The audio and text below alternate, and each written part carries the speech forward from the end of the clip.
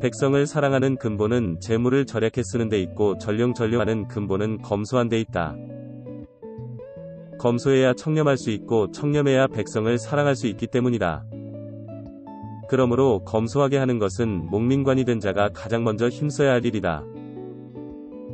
나라를 망하게 하는 것은 외침 외침이 아니라 공직자의 부정부패에 의한 민심의 위반이다.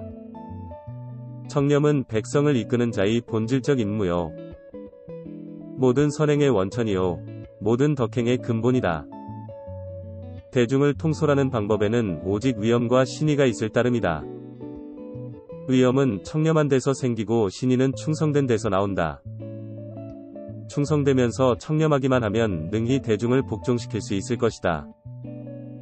나라를 망하게 하는 것은 외침이 아니라 공직자의 부정부패에 의한 민심의 위반이다.